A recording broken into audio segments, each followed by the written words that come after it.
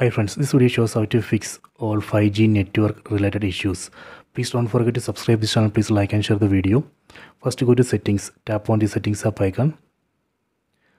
Go down. Set general management. Go down. Set reset. Go down. Select reset network uh, mobile network settings. Tap here. Tap on this reset settings button. Tap on this reset button done. You can see the message network settings reset. After this reset operation you can check 5g 5g should work. So this is a method one. If this method one is not working then go to method two. Method two. Again go to settings tap on the settings app icon.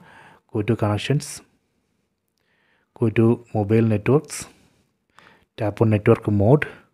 Here we should select 5g select this first option 5g then enable voice over 5g if you are outside home network enable data roaming go to network operators tap here. We should enable this option. Select automatically. Enable it. Go back go back. Tap on data usage. Enable this option mobile data. Done. After this you can check 5g 5g should work. So this way we can easily fix all uh, 5g network related issues. I hope you have enjoyed this video. Please subscribe this channel. Please like and share the video